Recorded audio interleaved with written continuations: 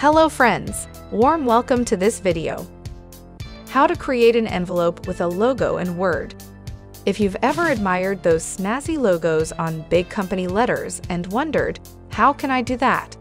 Then in this video, we're going to walk you through the simple steps of adding your own logo to your envelopes using Microsoft Word. Let's jump right in and make your envelopes stand out from the rest.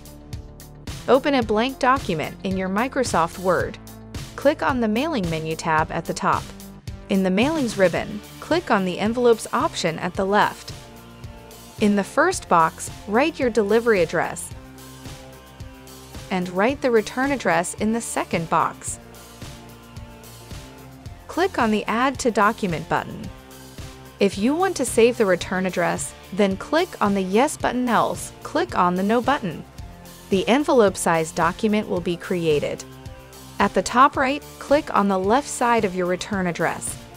Click on the Insert menu tab, and then click on the picture icon. Select your logo image from your computer.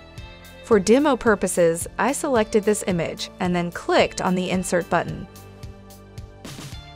Resize the logo image that you want to print on your envelope.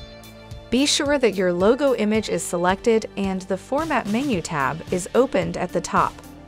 Click on the Wrap Text option and select Square from the list. Click on the File menu tab and then click on the Save As menu. Give a file name to your envelope document and press the Enter key on your keyboard to save it.